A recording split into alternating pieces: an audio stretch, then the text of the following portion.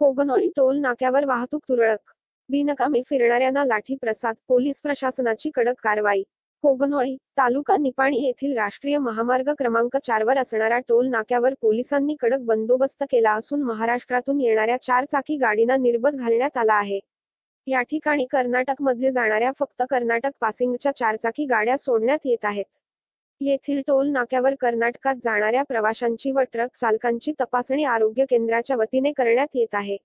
राष्ट्रीय महामार्गावर बिनकामी मोटरसायकल घेऊन फिरणाऱ्या युवकांना पोलिसांनी लाठी प्रसाद दिला.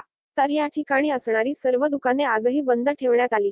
एकंदरीत करोना व्हायरसच्या पार्श्वभूमीवर दोन दिवसांपेक्षा आज जास्त कडक मोहीम राबवण्यात येत आहे. येथे डॉक्टर यशोदा बबली चिकोडी आरोग्याधिकारी सुमन पुजारी महादेवी पात्रूड एस.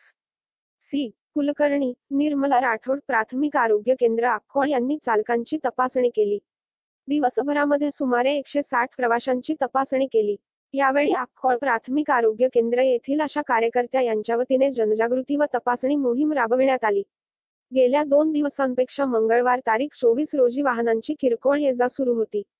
निपाणी ग्रामीण पोलीस स्टेशनच्या वतीने पीएसआय बी एस तळवार यांच्या मार्गदर्शनाखाली सुमारे चाळीस पोलीस कर्मचारी तैनात करण्यात आले आहेत.